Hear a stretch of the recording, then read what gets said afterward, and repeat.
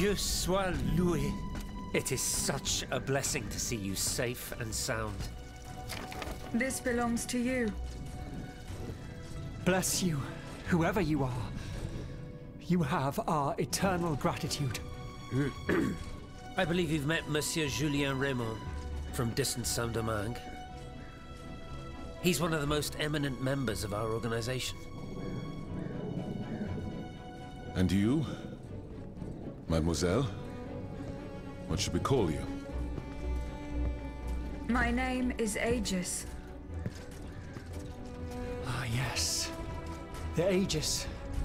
The mighty shield and scourge of Zeus. I wonder.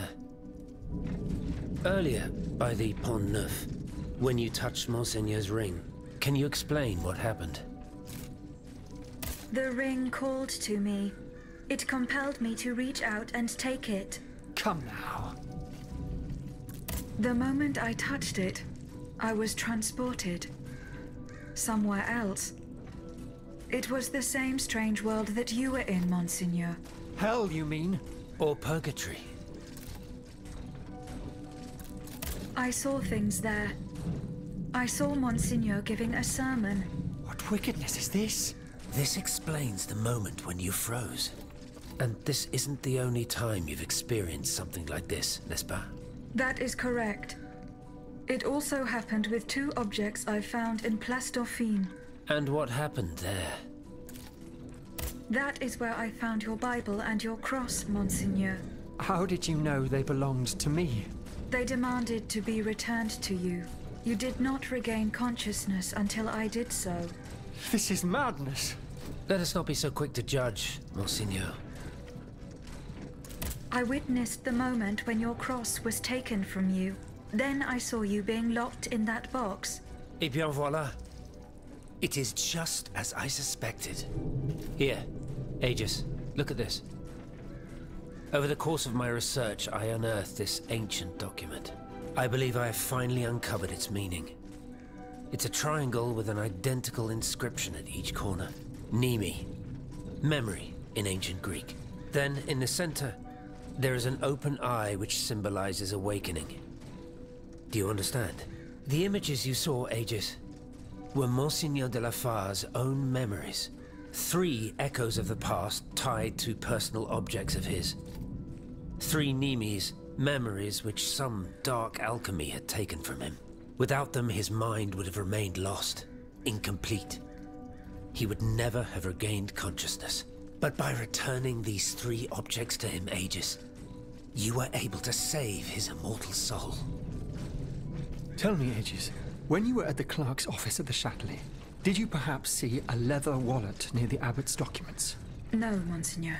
Ah, that is unfortunate. Most unfortunate.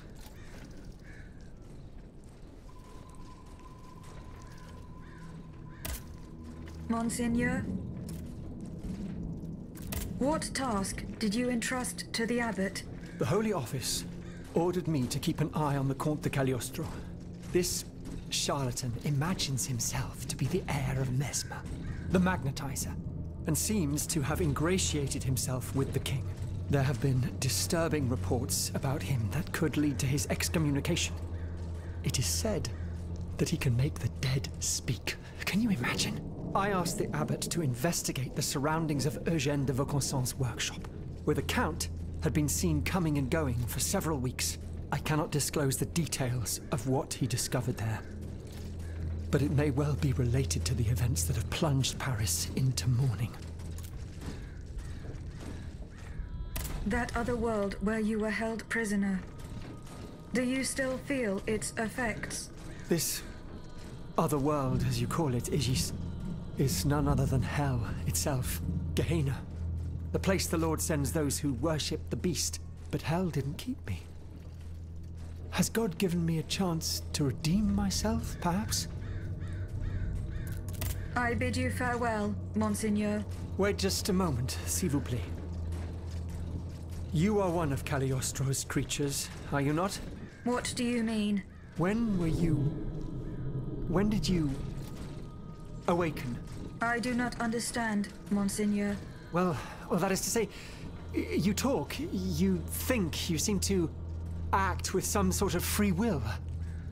This was not always the case, that much is clear. You must agree that not all automats are as sophisticated as yourself. I'm attempting to unravel the mystery of your true nature. Tell me, what are your very first memories? That is a question I am unable to answer. How strange. In that case, you must surely be able to tell me who taught you what you know. What I know, Monseigneur, Hmm. How can I put it in a way that you'll understand? For example, you call me Monseigneur. How do you know that this is how one addresses a member of the clergy of my rank? I cannot explain it. I believe, Go on, Aegis. I believe that this knowledge is not mine. Well, I never. Did you hear that, Abbot? I caught every word, mon ami.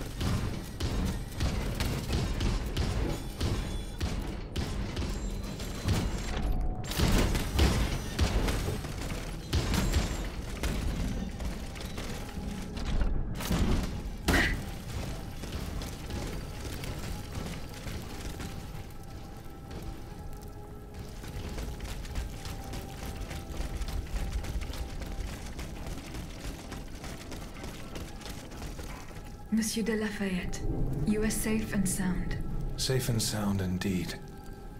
But with a broken soul. I have just returned from Place Dauphine. I understand, monsieur. The Garde Nationale. I was too late. All these brave men, cut down in a single attack. Why was I not among them? Alas, I am condemned to outlive them, and to witness an even greater calamity. What disaster do you fear, monsieur? It's a highly sensitive matter. I've been waiting in vain for a message of the utmost importance. Can you tell me more about it? Ma foi, at this point, I don't really have a choice. You can speak freely. Have no fear. Before the King's attack, I sent a squad of horsemen on a very important assignment. They were to collect a precious cargo at Gros Caillou, not far from the Hotel des Invalides. What sort of cargo? I'm sorry, Aegis, but I swore on my life to keep it a secret. All I can tell you is that it would give us a decisive advantage. But I haven't heard from my men. I'm worried that the exchange may have met with misfortune. It is paramount that I learn what happened and who has the cargo now. The future of the kingdom depends on it. Since it's so important, I will go there myself and attempt to solve this mystery.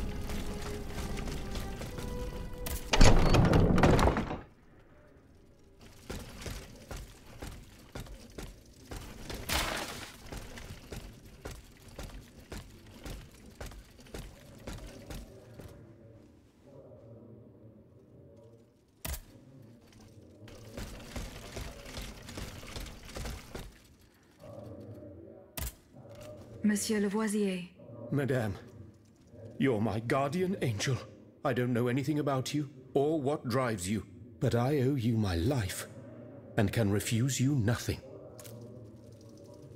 how do you intend to counter the King's actions? Unfortunately, we don't have the upper hand. For now, we can only hope to protect ourselves from him. I am convinced that something is afoot. Something that could destroy all our hopes in an instant. You have my full attention.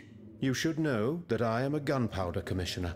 As such, I oversee the provision of gunpowder to the kingdom's arsenals, l'Arsenal de Paris in particular. For the past two days, a large quantity of gunpowder from Marsangy has been sitting near Les Invalides. It's in a warehouse by the factories. But the men I sent to take possession of the cargo and transport it to the Arsenal have gone missing. Do you realize what this means? The gunpowder could have fallen into our enemy's hands. It's possible. One thing is certain it's enough to destroy half of Paris. Whether it is still in the warehouse or has fallen into the wrong hands, we must find it urgently. Then, if possible, we must neutralize it. How? Simply by placing it in contact with water. Nothing could be easier in theory, but we must find a way to flood it. Flood the gunpowder. You're out of your mind, Lavoisier. We're in the most desperate of situations, and you want to deprive us of such a valuable resource. What will our cannons use once we have formed our army of patriots? Your army, Marquis, is presently but a figment of your imagination. I see. So you're one of those men who would sound the retreat before the battle has even begun. I will go to the warehouse. Once I have located the powder, I will decide what to do with it.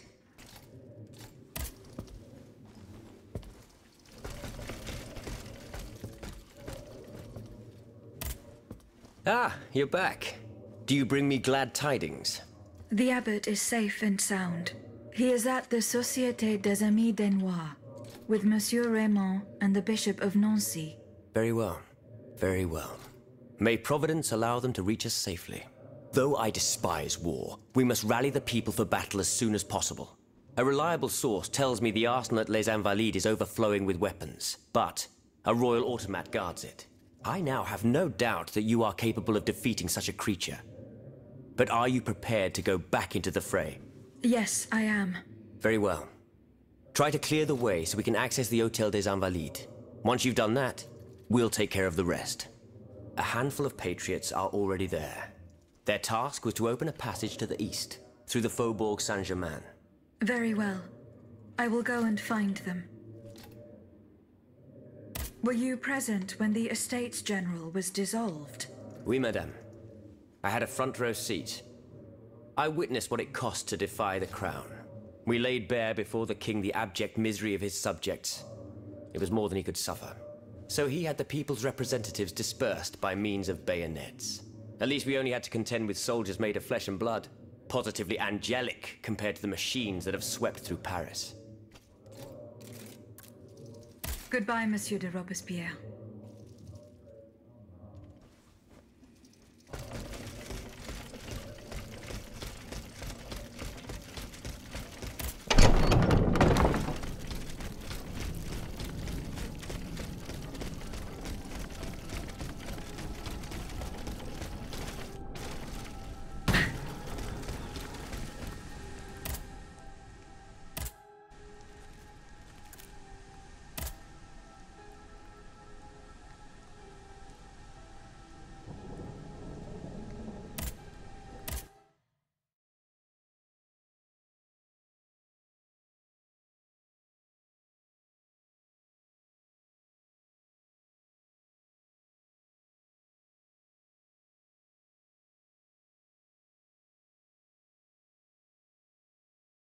There is no hope of reaching Les Invalides by the moat.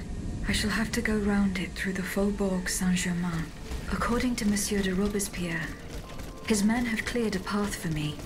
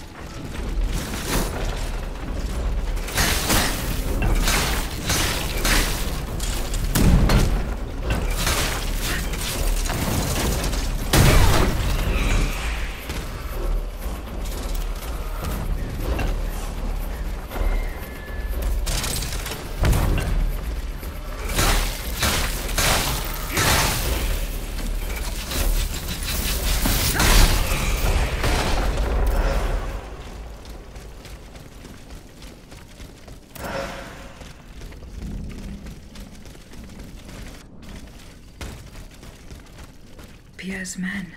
They perished in the line of duty.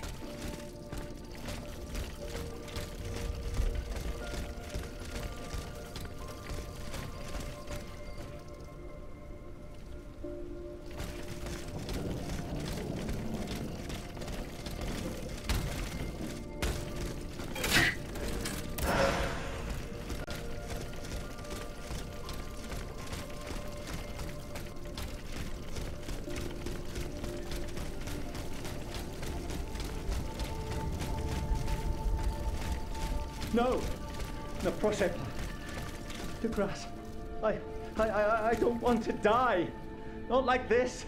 Oh, if I had known, I would have set fire to that monster factory long ago. A monster factory? Vaucanson's demonic forges. The Gehenna where you were smelted, just like all the murderers of your kind. Monsieur, I have no intention of harming you. I have come to put an end to the King's actions. If you're telling the truth, then go away. And let me live.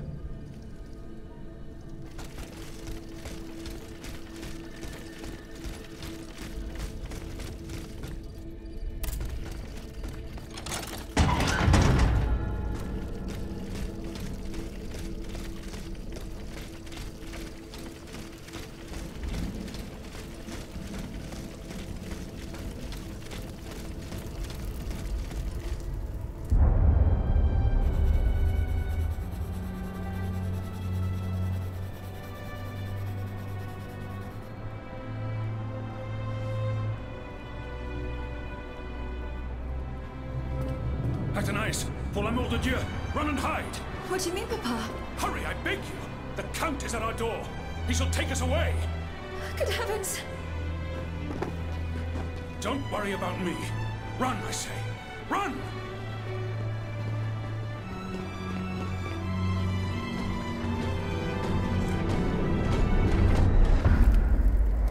Escape too.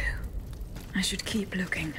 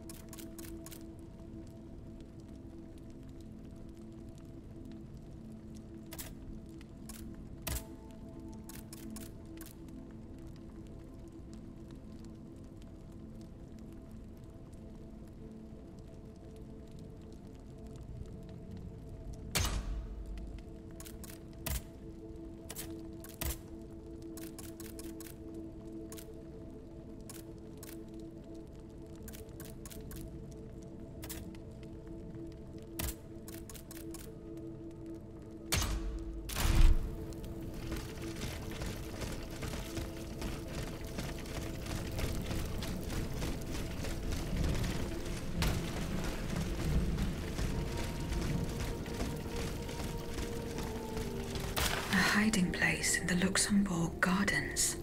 If I could find out where it was, I could track down Athenais.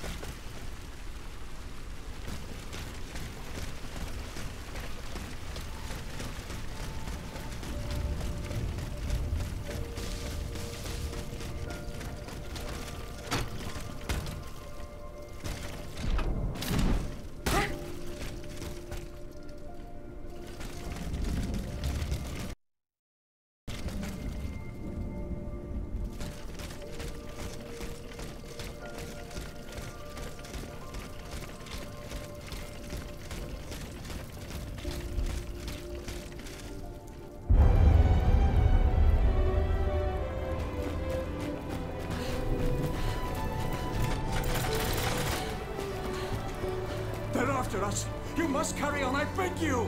I, I'll never make it. I'm out of breath. Dorano de Gia, Suzanne, just a bit more! We're almost there!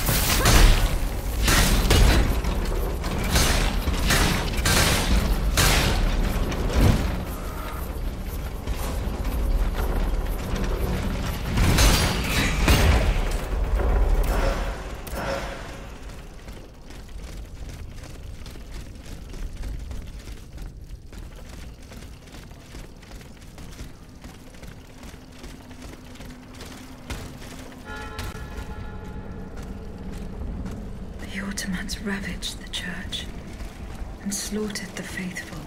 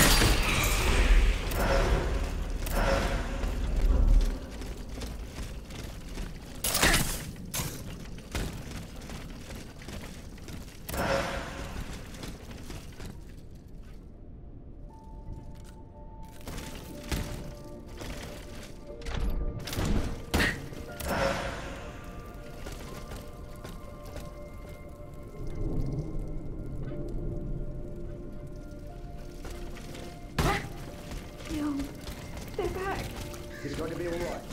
This machine is alone and the door is barricaded. It won't hold. Did you see how easily those demons entered the church? Don't be afraid. I mean you no harm. Oh, Senor, he can speak. What? What do you want with us, Automat? What happened in this church? You should know. It was your kind that slaughtered these lambs. I don't think those who were able to escape stand much of a chance either.